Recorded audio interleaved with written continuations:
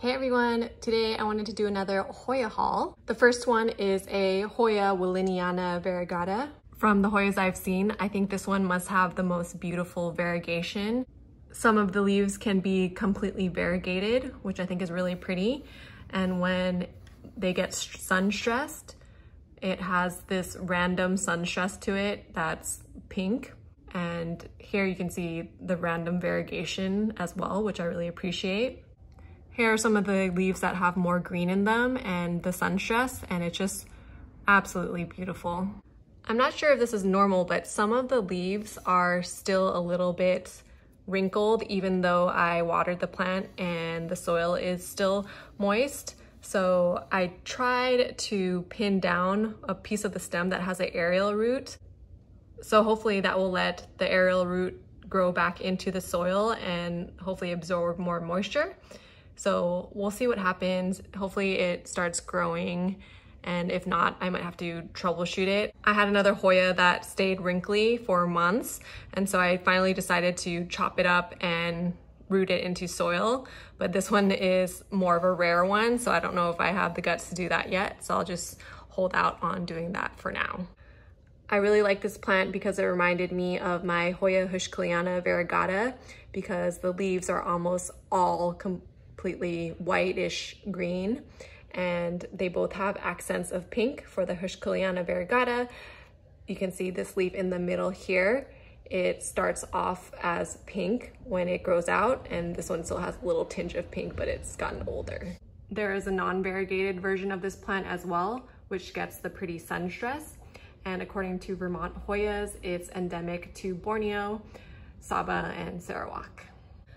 The next plant is a Hoya Rebecca, and it's a cross between the Hoya lacunosa Langkawi Island and the Hoya obscura. This is one of the Hoyas that gets that beautiful red sun stress. So when it gets really high intensity sunlight, it will turn red. You can see here that they are starting to turn a little bit red. The flowers are really cute poof balls, similar to the Hoya obscura as well as the Hoya sunrise. The next plant is a Hoya sunrise, which also gets the red leaves in bright sun when it gets sun stress. This one currently doesn't have the sun stress. Some of the leaves are starting to get a little bit red because I put it in a south facing window but when it does get really red, it's really, really pretty. Like I mentioned before, the Hoya sunrise flowers are similar to the Hoya Rebecca as well as the Obscura, but each of them have their different leaf shapes and the sun stress shows differently for them. So they all three can be appreciated in their own ways. The next plant is a Hoya Deykei and it has this really pretty, almost heart-shaped leaf similar to the Hoya Kerrii but it's not as pronounced.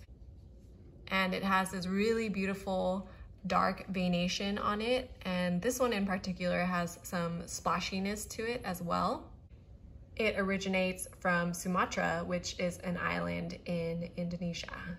Next up is the Hoya sigillatis, which has these really pretty trailing, long, splashy leaves.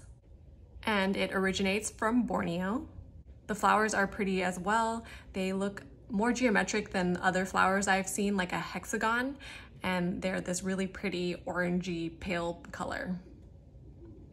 I heard that this plant might be a little harder to keep than other Hoyas because the soil has to be at the right moisture level. So hopefully this one can thrive in my care.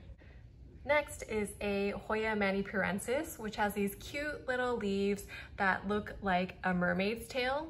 The flowers wouldn't be on the top of the list for the most beautiful, and people say they actually look more like a Dischidia flower, even though it is classified as a Hoya. The next one is a Hoya thomsonii splash.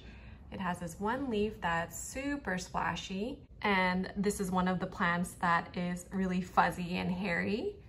So it's super soft if you feel it.